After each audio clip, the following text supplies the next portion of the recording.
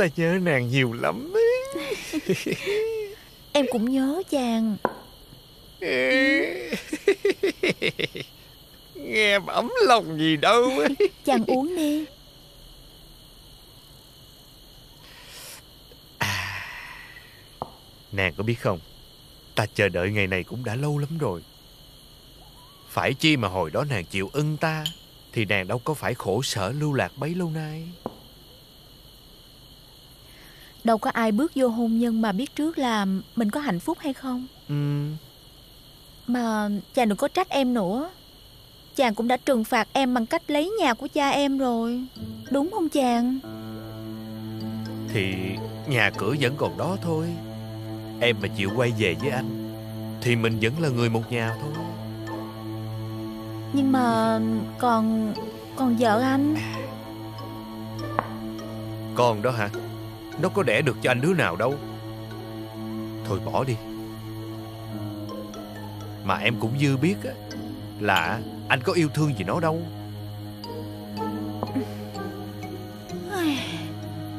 Bây giờ em mới biết được nỗi khổ tâm của anh. Ừ. Hồi đó anh làm sao mà ông trưởng làng ổng chịu giao nhà của em cho anh vậy? Em thông minh như vậy Em biết dễ mà Có tiền thì làm cái gì mà không xong. Vốn dĩ ông trưởng làng là một kẻ tham lam Mà còn có mối thâm thù với em nữa. Thì ra là vậy hả? Tội của ông tôi sẽ xử sao Thì ra là vậy. Vậy um, giấy tờ gốc đó Bây giờ nằm ở đâu? Đương nhiên là trưởng làng phải quỷ hết rồi. Ủa Mà tự nhiên em hỏi vụ đó làm chi vậy? Mình về với nhau Nhà em, nhà anh Khác gì đâu. Về một mối là của chung rồi. Không lẽ em kêu anh tới đây chỉ để nói chuyện này thôi sao? Em với anh Thì cái gì ra cái nấy. Phải như vậy mới biết Mình có hết lòng với nhau hay không chứ. Vậy bây giờ em đã tin anh chưa? Tin. Ê...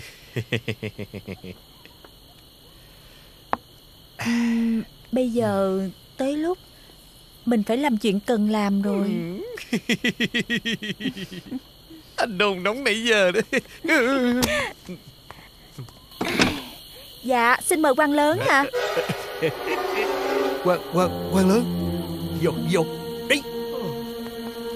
Đi đâu vậy? Đi đâu? Vô vô Nàng yên tâm, nàng yên tâm. Có ta, có ta đây. Cái miệng mày nói bụm không kịp Cái đồ mê gái thấy sợ luôn à. Ông đi đâu đây? Còn thằng cha này là ai? Thằng cha này là ai hả? Lên huyện đường là biết liền à. Trời ơi mày gan mày dám kêu thằng này. À, Mày kêu ông này là thằng cha. Ai? Mày chết rồi tính ơi mày chết rồi tính ơi. Hai tội nghe con. Cướp của ức hiếp gái nhà lành. Còn tội thứ ba hả Thằng này là ai? Bổn sượt nghe con. Toa rập với người có chức quyền nữa Đúng không quan Bốn tội nghe con. Khốn hồn. Lấy cái gì thì trả ra hết. Nếu không thì chết với ta? Chàng Chàng nói với em là chàng đi mua phân. Là thì ra ở đây đó hả? Ừ. Em cũng cố gắng hết sức rồi. Coi như mình hết duyên đi. Ờ, ờ, Lâm Lâm Lâm Ai vậy? À. ai vậy? Ai đây xuất hiện như bóng ma vậy? Ai đây? Dạ má má con. Ê, ê, ê, vợ con. Ê, vợ nó. Hả? vợ nó. Vợ, vợ. Vợ của mày hả? Có gia đình rồi mà còn mày đặt tòn ten nữa hả? Lộn lộn tòm tem. Đồ hư hỏng mất rết giải tán đi về hết đi. Dạ dẹp. Coi như là coi như là xong hết hả quan ờ xong. Về về. Vậy cho ở chơi một chút được không? Thôi được rồi. Giải tán giải tán. Giải tán hết cho ta. Dạ ngoài trời mưa quá mà. Ừ. mưa quá kìa. À, mưa quá. Thôi ở lại đi. À không mưa cũng về. Vậy quan ở đây chi vậy? Ta đi ta lập lời khai nè ta viết tường trình nè. Rồi à, ta phải thăm hỏi động viên à, nữa. à. còn ngươi cái tội ăn hối lộ hà hiếp dân lành.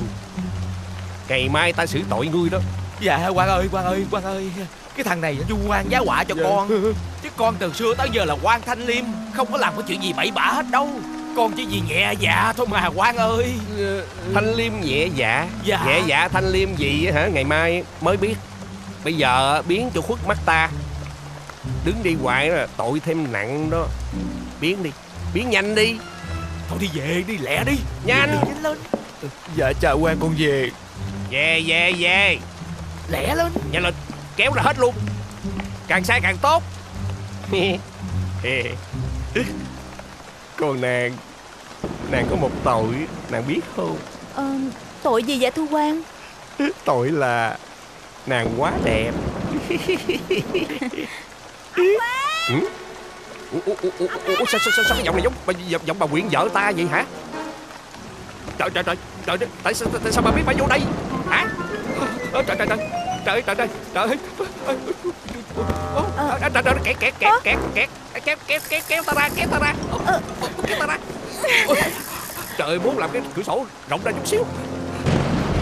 Trời ơi! trời giờ sao? Giờ sao ra khỏi đây? Ờ, dạ dạ dạ thưa quan huyện quan huyện có thể men theo vách tường này. Ừ, đi một đoạn sẽ thấy một cái cửa sổ nhỏ ở dưới đất. Quan huyện cứ theo đó mà ra nha. à, cửa, cửa, cửa sổ đó đâu? Dạ cái cửa sổ nhỏ xíu ở dưới đất đó. Ở dưới hả? À, cái đó cái đó cái đó là lỗ chó. Dạ dạ. Ừ, em nói tránh thôi. À, trời ơi chung lỗ chó. Nhanh đi quan huyện thôi nhanh lên. Trời ơi nhục quá. Trời nhục ơi là nhục. Nhanh đi quan huyện.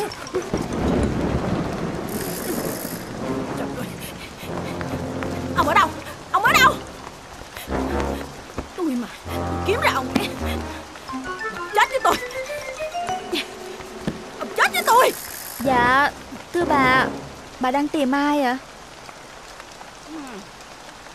Cô biết ta là ai không? Dạ biết Bà là bà huyện Là vợ của quan huyện Quyền quy nhất làng này Ai mà không biết. Cô biết ta là được rồi. Ủa? Mà cô ở đây có một mình hả? Hồi nãy ờ, Tôi thấy có ai ở trong đây nữa mà. Dạ Đâu có ai ở đây đâu bà. Nhưng mà Bà kiếm ai? Bà nói xem con con có gặp không? Tôi tìm ông Quyện Ờ Dạ Đêm hôm khuya khoắt như vậy Ông Quyện làm gì có ở đây? Bà cứ về đi. Lát chồng con về Con hỏi xem chồng con có gặp ông Quyện ở đâu không Thì con báo bà. Khỏi đi. Ta về đây. Dạ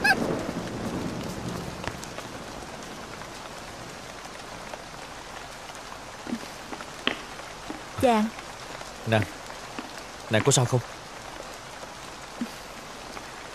Mình sắp lấy lại nhà được rồi chàng ơi. Nhưng mà Có khi nào Lão quan huyện đó mò xuống đây Gây khó dễ cho mình không? Có chàng rồi Em sợ gì nữa. Mình về nhà thôi. Nữ ơi là nữ. Năm lần bảy lượt Cô dám đem tôi ra làm trò cười trước mặt bao nhiêu người? Nhất định lần này tôi không bỏ qua cho cô đâu.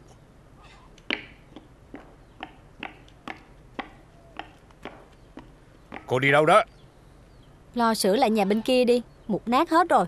Tôi đi Anh mạnh dọn vui vẻ nha. Đi đâu đó? Sao không về bên đó mà lo dọn dẹp? Coi bộ anh không có bao giờ coi tôi ra cái gì hết.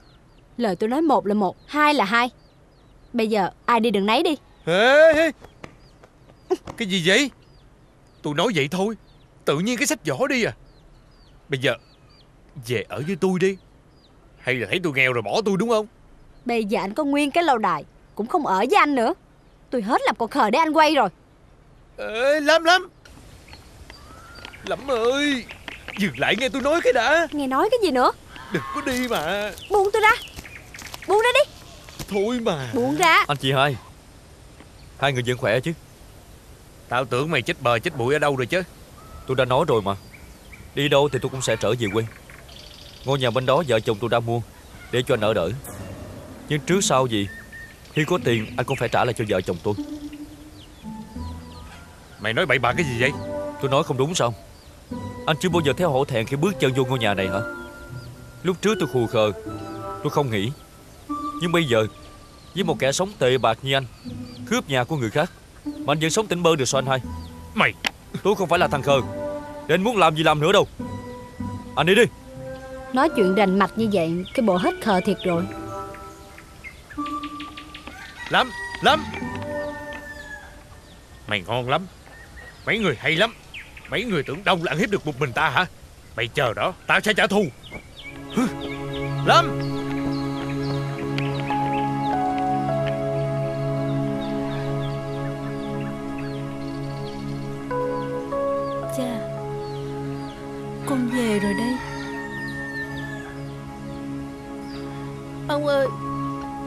chồng con nữ nó về rồi nè. Con cháu ngoại của ông nữa nè.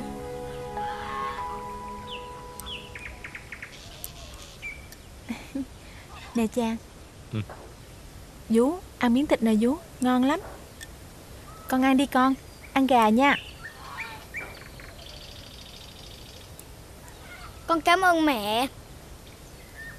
Phải kiếm lại hết mấy người làm đã từng làm cho nhà mình. Ừ. Chàng Em mới ra thăm đồng Ruộng vườn bây giờ tiêu điều quá Phải làm lại đất Rồi xạ lúa Cho kịp mùa tới nữa. Rồi vét lại mương tưới Dùng gốc cây trái Gầy lại đàn trâu bò. Mình phải làm sao cho cây trái xum xuê Như hồi cha còn sống? Mấy chuyện đồng án đó nàng cứ để cho ta làm. Còn nàng thích làm cái gì nàng cứ làm đi. Ừ, Chàng Chàng phải đi gặp thầy chứ. Ta tính chuyện nhà em em Ta với nàng cùng đi. Ta có muốn nàng gặp thầy đồ. Em cũng tính mở lại quán cơm Để bán Rồi giúp người khó khăn luôn. Ừ, Em chưa kể chàng nghe. Nhỏ mận bây giờ là một tay giờ tài danh lắm. Từ đó em nghĩ ra một cái dự tính là Kêu nhỏ mận về để làm chuyện lớn. Mẹ tính làm chuyện lớn gì vậy mẹ? Bí mật. Kiếm thêm con mận là đúng đó. Phải có nó phụ mới đỡ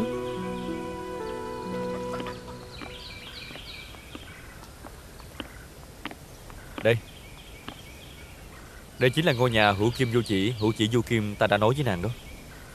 Em nóng lòng muốn diện kiến. Người đã nuôi nấng con vàng Và đưa cho em gói cơm trắng và cà thiêu. Dạ ông ơi! Dạ ông ơi! Ông ơi! Chào cô cậu. Dạ Là ông sao? Ủa? Hai người có quen biết nhau sao? Quen mà. Vô nhà đi rồi nói. Dạ.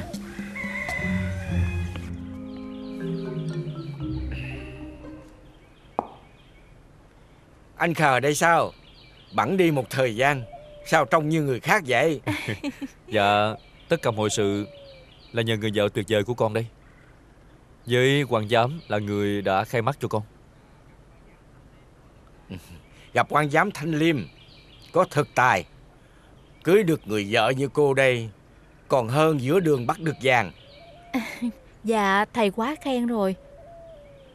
Mong thầy nhận kèm cặp cho chồng của con. Được học với người thông tuệ kinh sách Lẫn sự đời như thầy Chắc chắn là chồng con mau tấn tới. Vốn dĩ hồi đó ta hơi vô tâm Có chút ác ý làm cô tuổi thân. Ta cũng thấy ân hận lắm Ta mới nhờ người đóng vai khờ hơn chồng cô. Để cô thấy Chồng mình còn hơn nhiều người trên đời này. Đúng như ta nghĩ Ta đã kịp thời ngăn cản. Không có cho cô từ bỏ người đàn ông tốt bụng này. Dạ Thì ra chuyện là như vậy.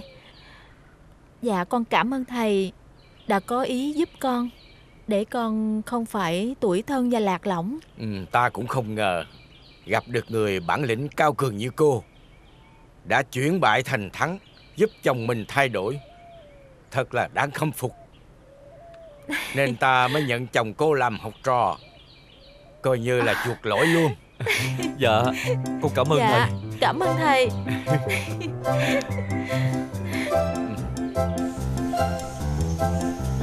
Miếng đất này Dạ Từ đây đúng rồi qua đây phải không?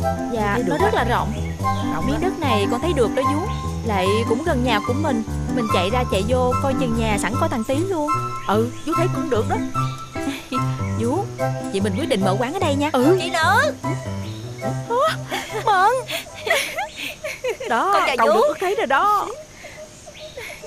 Sao có chồng con gì chưa?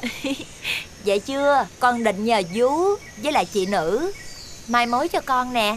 À, em nghe nói á, là chị mở quán hả? Có cần em phụ gì không? Chị có dự tính là mời em về Hùng Hạp làm chung Chị muốn gây dựng danh tiếng lụa làng hạ uhm, Mà em đâu có vốn liếng gì đâu mà hùng với chị Tài dệt của em là phần hùng lớn nhất đó Nè, ráng làm đi Rồi chị làm mai cho một người rất là tuyệt vời luôn à, Ủa, chị làm mai? Ừ. Ai vậy chị? À, là cái người con tính mai mối đó hả? Trên đời này chỉ có một thôi nghe. Ừ. Mà phải làm sao kìa Chứ không có gì là không có được đâu. Ủa chú cũng biết người đó nữa hả? Vậy chắc ừ, người đó phải tốt lắm. Tốt lắm. Tôi mà trẻ hơn hai chục tuổi là cô không có cửa đâu nghe. Vậy con phải cố gắng gây dựng thương hiệu của làng hạ Để còn xứng với người ta. Ừ. Ờ, nhưng còn anh chị hai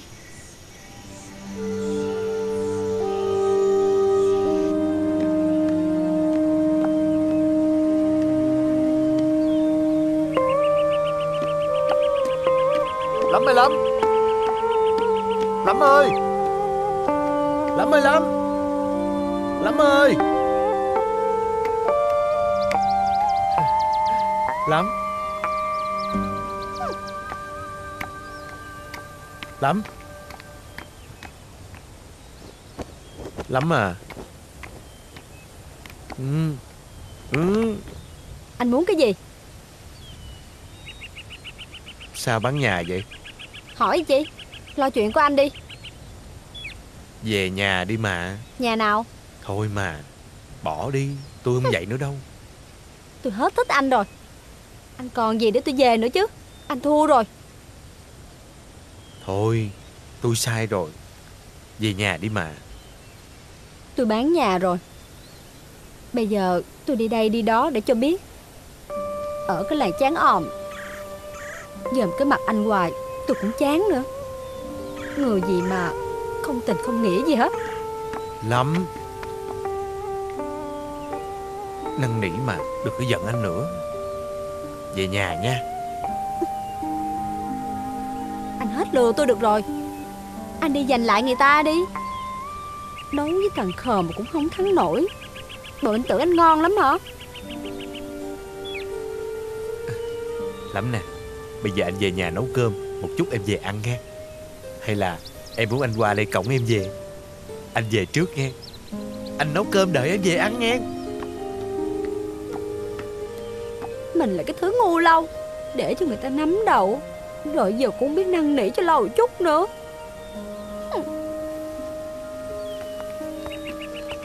Chị lắm.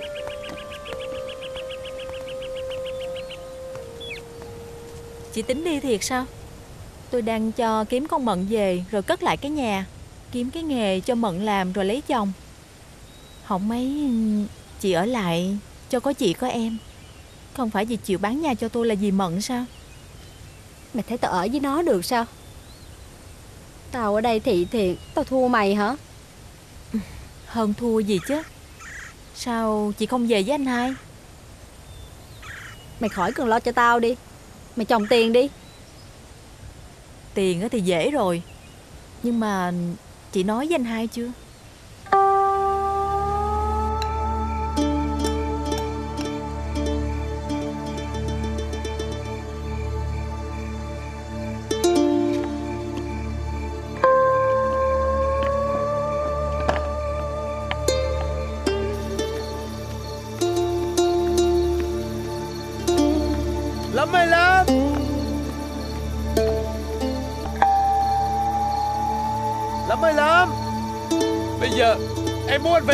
Em mới về ăn cơm với anh. Lâm ơi! Không lẽ bây giờ em muốn anh quỳ xuống đây em mới chịu hay sao? Dì Lâm không có ở đây. Hai vợ chồng mày Tại sao lại trong nhà vợ của tao? Ủa? Chị hai không nói cho anh biết Là chị hai đã bán lại ngôi nhà này cho vợ chồng tôi hả? Cái gì? Bán cho vợ chồng mày? Còn lắm Lắm vợ tao đâu? Lắm đâu? Nè anh thôi đi Lúc nãy chị hai xách đồ bỏ đi rồi. Cứ tưởng là chị hai đi về bệnh Bỏ đi. Lâm ơi. Lâm ơi. Lâm ơi Lâm. Lâm ơi về ăn cơm. Dạ chào quan ừ. Ngươi là thằng nào? Quan không nhớ con sao? Con là cái người hôm bữa Bị gài ở phòng trọ của con nhỏ nữ Con nhỏ nữ. Mỹ nhân ngọc nữ mà ngươi dám nói nhỏ này nhỏ nọ nhỏ kia hả? Dạ Nó là em dâu của con mà quan Nó dụ con Nó lẳng lơ lắm đó quan Lẳng lơ hồi nào? Ta đi còn chưa được Dụ ngươi hả? Không phải ngươi ỷ thế Hiếp đáp người cô thế. Ờ... Mà khoan Bộ cô ấy có chồng rồi hả Dạ có rồi. Chồng nó là em của con. Mà cái thằng đó ờ... nó ngu lắm quan Vợ nó nói cái gì là nó nghe theo hết. Nó dám nói dối với quan Là để quan lấy lại nhà cho nó. Chứ dễ gì nó ưng một người như quan hey, Lộng ngôn. Ta là phụ mẫu chi dân Phân xử công minh. Lấy lại kỹ cương Công bằng cho dân. Chứ đồ đen tối gì?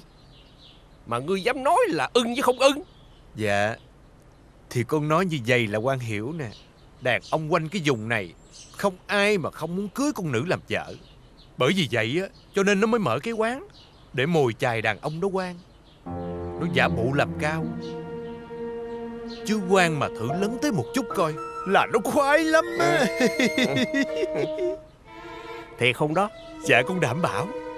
À, à, Nhưng mà Ngươi nói cái chuyện này với ta Có ý đồ gì Ăn không được, phá cho hôi hả? Hay là mượn gió bẻ măng? Nó là tre luôn rồi chứ, măng gì nữ quan Con mất nhà, mất vợ cũng vì nó. Bây giờ quan cứ tới đó đi quan sẽ biết thật hư à.